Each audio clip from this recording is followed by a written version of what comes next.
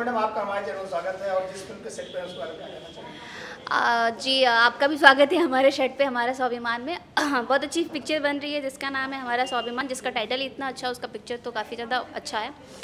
और मुझे बहुत ही खुशी हो रहा है कि मैं इस पिक्चर की पार्ट हूँ। और हम लोग कर रहे हैं सो मज़ा आ रहा है। किरदार की बात की जाए तो डिम्पल किस तरह नज़र आएँगी? दर्शकों पर जादू किस तरह चलाने वाली हैं? जैसे डिम्पल रियल लाइफ में है वैसे पिक्चर में भी आएँगी चुलबुली सी नटखटी सी छेड़ती रहने वाली। अब तक सेट पे कितने लोगों को छेड़ा है आपने?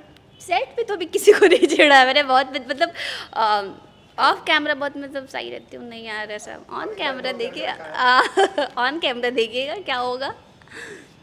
पवन जी के साथ गाने में धूम मचाने वाले फिर होली का गाना धूम मचाया अब पूरी फ़िल्म उनके साथ कर रही हैं। हाँ ये बहुत खुशी की बात है कि हमारे इंडस्ट्री की पावर स्टार पवन जी के साथ फ़िल्म करने का मौका मिला मुझे। और ये पवन जी के ही वजह से मिला क्योंकि मैं सैया साइको का मुहूर्त हुआ था, उसके बाद चंदमड़ी सर का फ़ोन आया कि आप डिम्पल जी बोल रही हैं? हमने कहा हाँ पवन जी का रिक्वायरमेंट आया है कि आपको हमारा स्वाभिमान में रखा जाए। तो बहुत खुशी हुआ कि पवन जी ने कुछ देखा और समझा कि नहीं ये करने लायक है तो बोला और पिक्चर कर रही हूँ आज उनके साथ।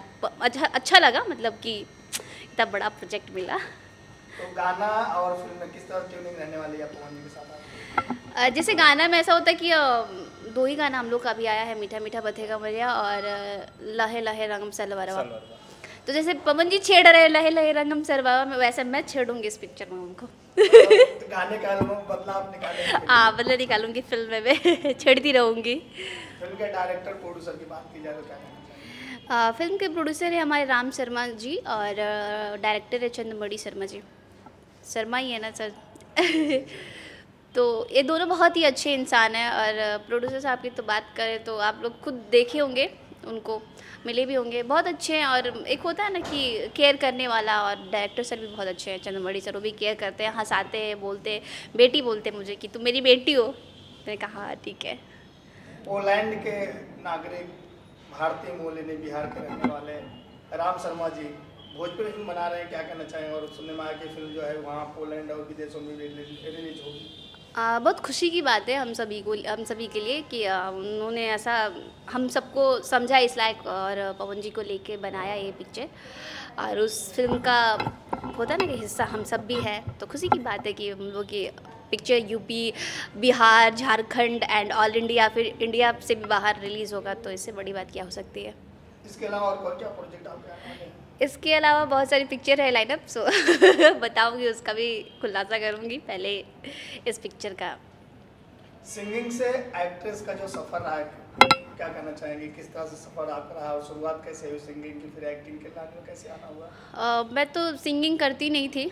2015 में मैं एक्टिंग करती थी थिएटर करती थी तो कोई भी ऐसा गाना गुनगुनाना नहीं होता था तो कोई बोलता था कि गाना गा गाना गा। तो मैं गाना गाती तो बेसुरा मैं अच्छी सिंगर नहीं प्रोफेशनल हूँ नहीं बट गा लेती हूँ थोड़ा बहुत अपनी खुशी के लिए दर्शकों की खुशी के लिए सो so, गायकी की शुरुआत कब से गायकी की शुरुआत मैंने 2015 से किया था और पहला गाना कौन सा पहला गाना मेरे को याद नहीं है पहला गाना संजीवनी से रिलीज़ हुआ था जो कि मतलब ऐसे ही मैंने गाया था। एक होता है ना कि हाँ चलो चलो ठीक है गा लो।